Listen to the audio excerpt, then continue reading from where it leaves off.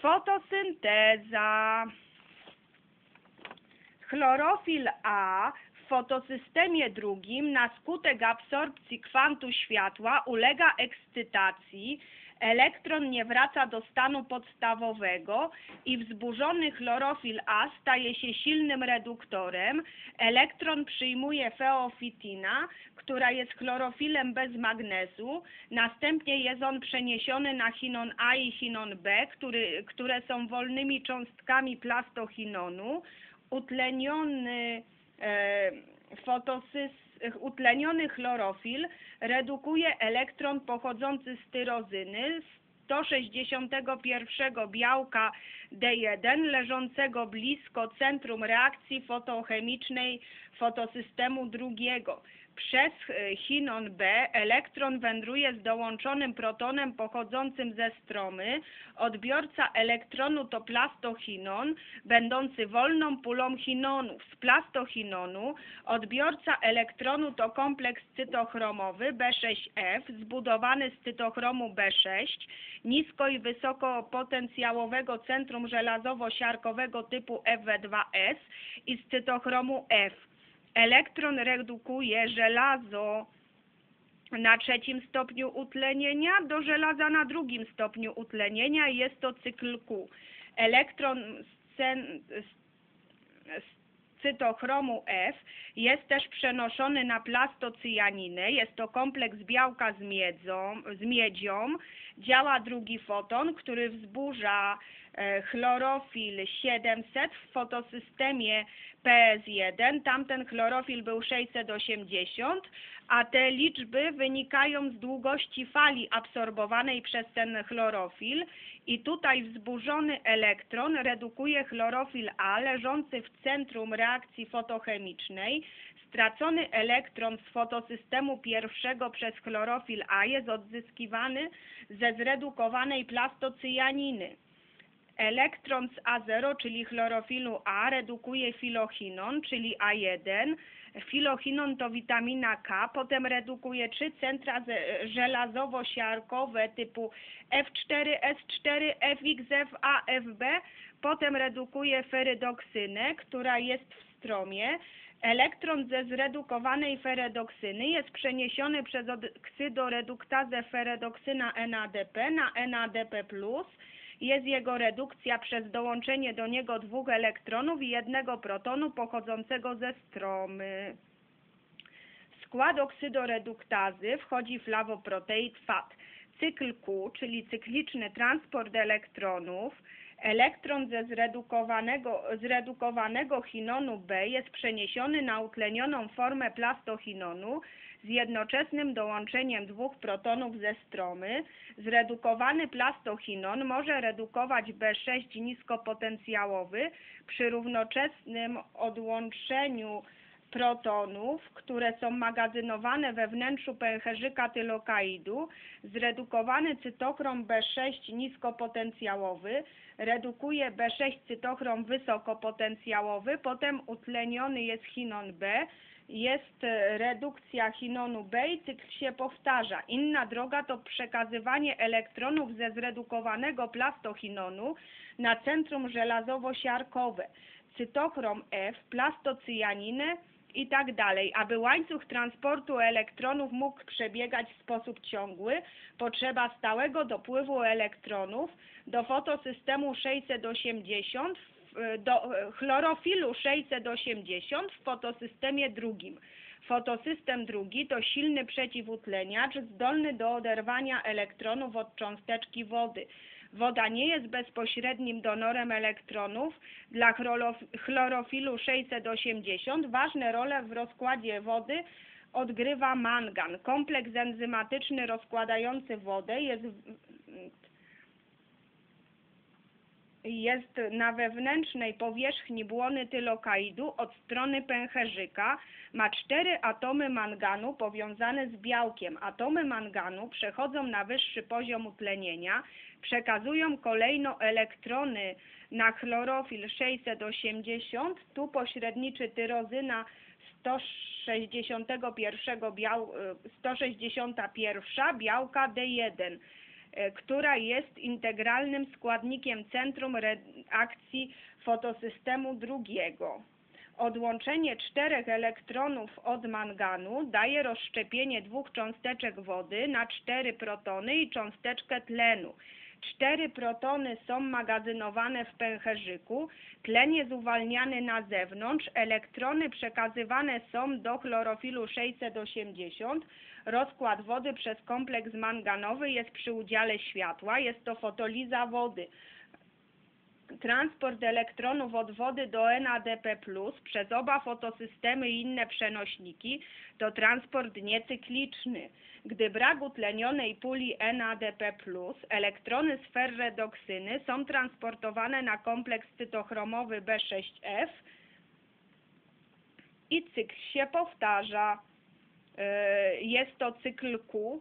W jego czasie jest przetransportowywanie protonów do światła, czyli lumenu pęcherzyka, w którym jest transport elektronów ze stromy do pęcherzyka tylokaidu. Elektron przebywa drogę przez centrum żelazowo-siarkowe EW6, cytochrom F, plastocyjanina, na chlorofilu 700 w fotosystemie pierwszym i tak dalej. Ten rodzaj transportu elektronów to transport cykliczny.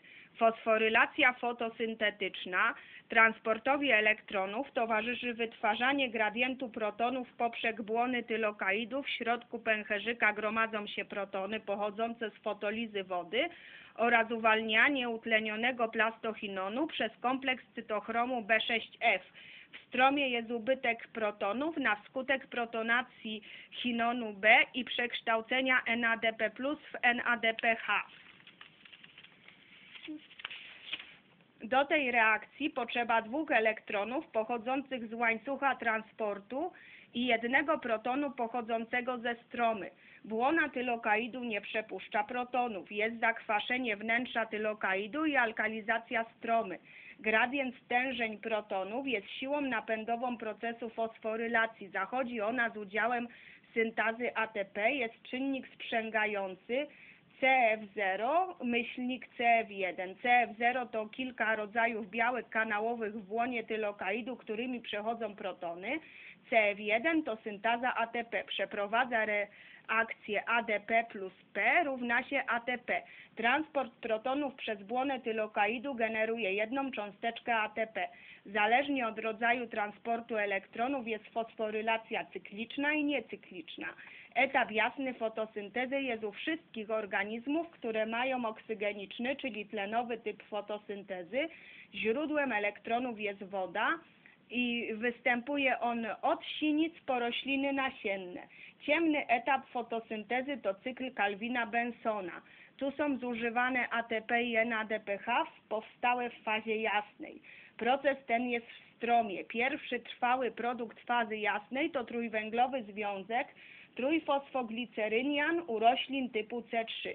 Ten etap ma trzy procesy. Pierwszy, karboksylacja dwutlenku węgla, jest on dołączany do akceptora cukru rybulozo 1,5-bifosforanu, e, RUDP. Reakcję katalizuje karboksylaza rybulozo 1,5-bifosforanu, czyli rubisko.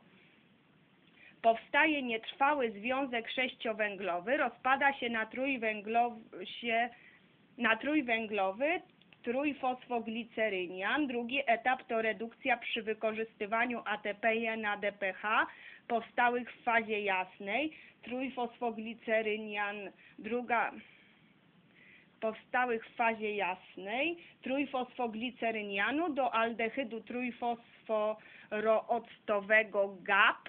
E, jedna szósta powstałego aldehydu jest kierowana do syntezy innych związków, glukozy, fruktozy, skrobi, reszta jest wykorzystywana do trzeciego etapu, czyli regeneracji pięciu cząsteczek GAP odbudowuje RUDP przy udziale trzech cząsteczek dwutlenku węgla. E, Jedna z tych cząsteczek idzie na produkcję innych związków organicznych. Przykłady C4 fotosynteza C4. Tutaj są jednoliścienne rośliny jak trzcina cukrowa, sorgo, proso na kaszę jaglaną i dwuliścienne, na przykład łoboda gwiazdowata, szarłat. Tu etap ciemny jest rozdzielony pomiędzy dwa typy e, fotosyntetyzujących komórek w komórkach mezofilu i pochwy okołowiązkowej. UC3 jest tylko w mezofilu. C4 w cytoplazmie komórek mezofilu akceptorem dwutlenku węgla jest kwas fosfoenolopirogronianowy PEP. Redu- reakcje CI pośredniczy karboksylaza fosfoenolopirogronianowa PEPC powstaje szczawio-octan, dehydrogenaza japłuczanowa z udziałem NADP powstaje w fazie jasnej, redukuje go do L-japłuczanu, kwas L-japłkowy, plazmodesmami jest transportowany do komórek pochwy okołowiązkowej, tu działa enzym japłuczanowy o aktywności dekarboksylazy, utlenia L-japłuczan, odciąga proton, regeneruje zredukowany NADP i uwalnia CO2, powstaje pirogronian.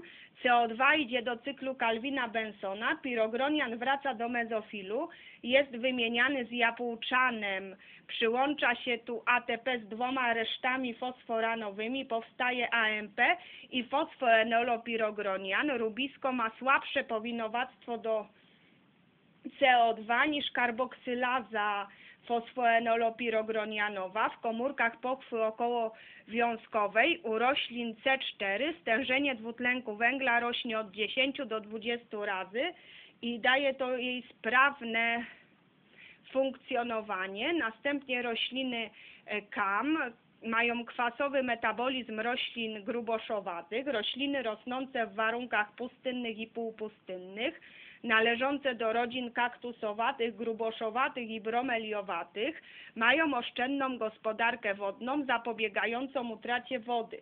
Szparki otwierają się w nocy, gdy temperatura spada, nie przebiegają wtedy procesy fazy jasnej. E, Częściowo są procesy fazy ciemnej. W cytozolu komórek tych roślin jest e, karboksylaza fosfoenolopirogronianowa. Nocą powstaje szczawio-octan, dehydrogenaza z NADP+, jest kwas jabłkowy, gromadzi się w wakuoli, zakwasza ją, kamnie mają zróżnicowania strukturalnego. W dzień szparki są zamknięte, L japłuczan opuszcza wakuolę, w cytozolu działa enzym japłuczanowy dekarboksylaza, utlenia japłuczan, powstaje e, zredukowany NADPH+, dwutlenek węgla idzie do cyklu Calvina-Bensona, pirogronian idzie do obiegu, powstaje fosfoenolopirogronian, wszystkie reakcje są w jednej komórce, faza ciemna ma rozdział czasowy, mechanizm regulacji wiązania CO2 u KAM to regulacja aktywności karboksylazy i enzymu japłuczanowego, który katalizuje dekarboksylację. Ich stała aktywność dałaby jałowy cykl z natychmiastowym uwolnieniem związków. Jest tu fosforylacja i defosforylacja odpowiedniej seryny białka karboksylazy. Za dnia enzym jest nieufosforylowany, jego inhibitor to japłuczan.